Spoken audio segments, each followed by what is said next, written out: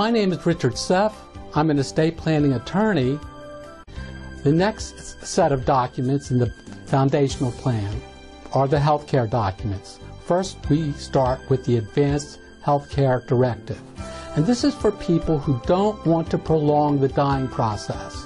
Now, that's a very personal decision. It can go either way. Whatever your desires are will be reflected in the document. But many, many people do not want the dying process prolonged. This is a very detailed document that was put together with the help of nurses.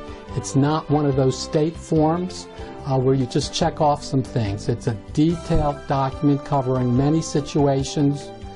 That's included. The other important document is called the HIPAA authorization. This is a document that must be completed in just the right way and must be, become part of the medical record.